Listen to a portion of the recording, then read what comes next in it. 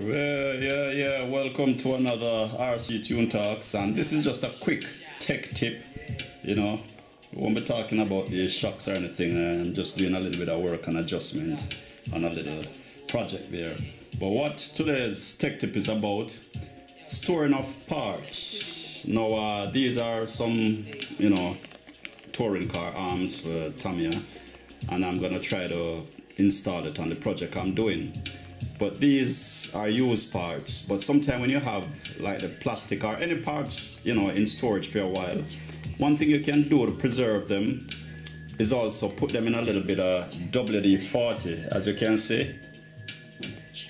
And just put them in a plastic bag and just let them stay it keeps it and also you know give it a really new appearance once you take it out so I've had these in the WD-40 for a while and I decided to try them on the project today.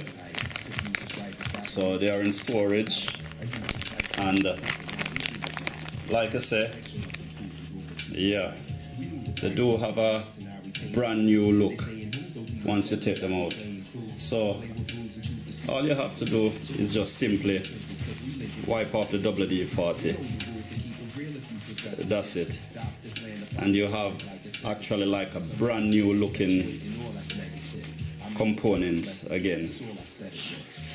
Yeah.